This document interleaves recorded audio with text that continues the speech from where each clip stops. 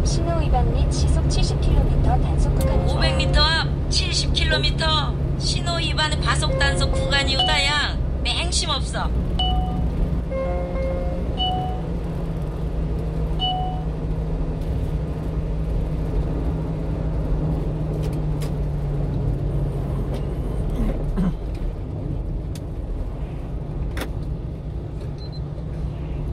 호소 식당 70km 신호 위반 과속 단속 구간이 오다.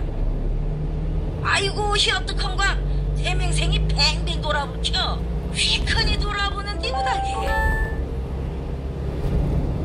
약 600m 앞에서 양청중 고등학교 연구 단지 방면 좌회전입니다.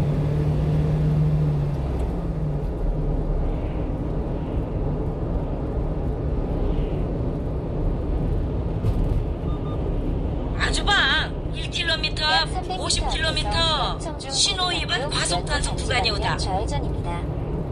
잠시 후 사망 사고 다발 지역입니다. 약 600m 앞 신호 위반 및 시속 50km 단속 구간입니다. 잠시 후 좌회전입니다. 맹심 없어 급하게 회전하는 디우다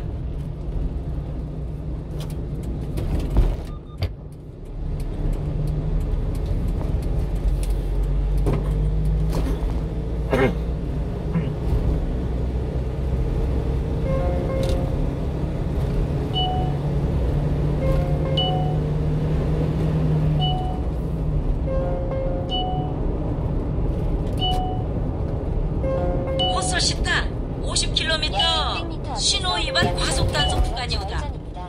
이어서 87m 앞 우회전입니다.